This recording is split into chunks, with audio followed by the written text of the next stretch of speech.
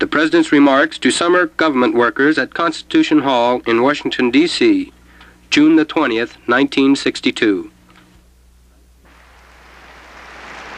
Mr. Bell, Mrs. Louchheim, ladies and gentlemen, I'm glad to see you in Washington. I appreciate your willingness to come down and uh, submit yourselves to the living on the bullseye here. I sometimes wish I just had a summer job here, but I do. Uh, I do want to uh, say what a opportunity it is for us in the federal government to have you here. These programs of bringing uh, young Americans, particularly college students, to Washington every summer to work in the various departments have been going on for a great many years.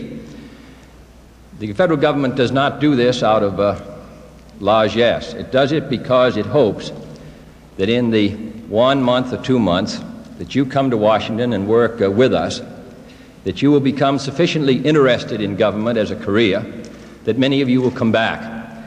And that in that way we can attract to the National Governmental Service uh, the best of the talent of our country, those who are most interested, those who are most committed. This has been going on, as I've said, for a great many years. What we've been attempting to do uh, this year, however, is to uh, spread your interest. Those who may work in the State Department or the Department of Defense, those who may work in the White House or in the Executive Office, do get a very clear idea, whether it may be because of carrying messages from one part of the building to another or working in more sophisticated jobs, they get some idea of what uh, the work of the government department in their area may be. But what we are anxious to do is to use this time while you are here to give you as much information, as broadly based and as sophisticated as is possible. And therefore, during the next uh, two months, with your help and cooperation, uh, we will attempt to bring to your attention some of the many facets of governmental service.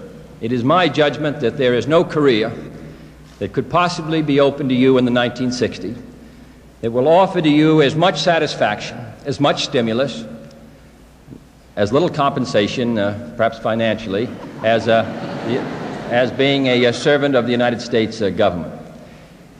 I think within all of us, and really in a sense, I suppose, endowed almost by nature, in addition to a natural desire to advance uh, our own interests, there is also a parallel desire, and that is to be part of a great enterprise of public service. The totalitarian uh, powers have uh, exploited that. Even in Cuba, Mr. Castro's emphasis, certainly at the beginning, was on a desire to improve the lot uh, of the Cuban people. And therefore, in China, we had all these examples of people spending their day off going out on illiteracy, health, building dams, doing all the things to build a, a better country. This is in all of us. I think that it's a more difficult and subtle problem in a democracy with a great deal of emphasis, of course, on individual liberty, on the right of pursuing our private interests, and so on, so that uh, while there is this desire, it doesn't, uh, frequently, it does not have a chance to express itself. But the desire is there. And it is our hope that the desire is there stronger in these years than ever before. And I think the response to the Peace Corps indicates how real this feeling is. The willingness of thousands of young Americans, and some not so young, to volunteer to serve uh, their country and a much larger constituency than their country in dozens of countries overseas. I hope that, uh, in fact, I know you would not be here, uh, that you feel uh, the same way.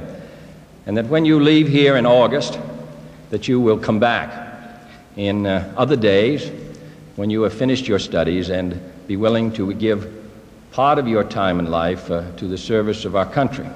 When I say come back, I do not mean it uh, in the geographic sense. It may be that your service will take place in your own community, or in your own county, or in your own state.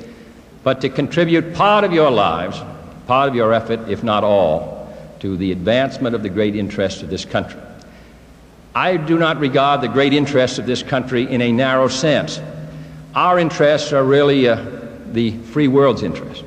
And I am constantly impressed day after day with the fact that this rather small country, in the relative sense, only 6% of the world's population, that we are carrying the burden for the defense of freedom in nearly every part of the globe. It is the United States, as a member of the SEATO Treaty, who sent its troops to Thailand, to help uh, preserve the independence of Southeast Asia. It is the United States which is making the major effort in Vietnam. It is the United States which has the great number of troops stationed in West Germany today. It is the United States, when the moment of crisis come in Berlin, that plays the large role. It is the United States which has poured out its billions of dollars of gold in order to help rebuild Western Europe. It is the United States which contributes to the economic and political and social development of Latin America through the Alliance for Progress. It is the United States, on behalf of the free world, that makes the great effort in space and makes the great effort in uh, national security. Our dollar payments, which we hear so much about, would long ago have been balanced. The United States would have had nearly all the gold in the world if in the last 15 years we had followed a narrow parochial viewpoint instead of uh, assisting those who we regarded as heavily pressed. We should feel a great sense of satisfaction in that and a sense of pride. The United States today spends nearly four or five billion dollars for national security interests abroad which add to our gold drain. This is only one of countless examples that could be given of the great role that we play in the defense of freedom at a time of maximum danger. So when we serve our country in 1962, I think we're serving the cause of freedom. And it is, of course, our hope that Western Europe and the common market will be an outgoing institution which will associate with this great effort and not merely turn into itself and build greater prosperity merely for its own people. So, this is the effort that we're engaged in and will be engaged in in this decade, in the next decade, and the rest of this century. And therefore, the opportunity for all of you will be very real. In addition, I think the kind of problems we face now are entirely different than the problems we faced in the administrations of Woodrow Wilson or Franklin Roosevelt. And that's why I have tried to say recently that uh, the slogans and the cliches and the political arguments which so suited an earlier generation, are not particularly adapted to the kinds of problems which we have. Most of our problems are technical, administrative, sophisticated, and merely being a member of one or the other political party does not offer you a solution to the problem. How to maintain our economy at a satisfactory rate of growth, how to mix fiscal and monetary policy in order to maintain employment and protect our balance of payments how to uh, absorb at a reasonable return to our farmers the productivity of our farms, which is increasing twice as fast as our ability to consume it. All this in a very uh, hungry world. How do we protect the public interest in a great variety of economic areas and political areas which absorb our attention? These are all very sophisticated and technical problems. And the great sort of passions and movements of the early part of this century William Jennings Bryan, and all the rest are not involved today because now it requires the finest judgments upon which even experts differ. And to do, though, bring a solution to these kind of problems in the midst of a very turbulent and uh, large uh, country uh, involved in more traditional political dialogues requires the best of all of us. So I'm glad you've come to Washington. This government needs your assistance. It needs the disciplines which you've acquired. Bismarck once said that one third of the students of German universities broke down from overwork, another third broke down from dissipation, and the other third ruled Germany. The question is which third is here this summer in Washington? I'm confident it's going to be the future rulers of the United States.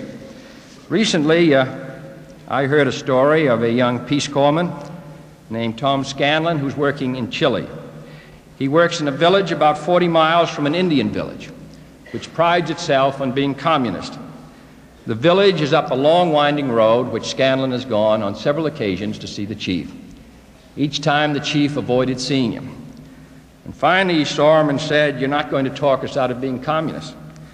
And Scanlon said, I'm not trying to do that, only to talk to you about how I can help. And the chief looked at him and replied, In a few weeks, the snow will come. Then you'll have to park your Jeep 20 miles from here and come through five feet of snow on foot. The communists are willing to do that. Are you? And when a friend saw Scanlon recently and asked him what he was doing, he said, I'm waiting for the snow. Well, I hope that spirit motivates all of you. You're most welcome here. And I want to say that uh, come rain or shine, I hope that when you leave in August, we'll have a chance to uh, have you uh, come to the White House and say goodbye. Thank you.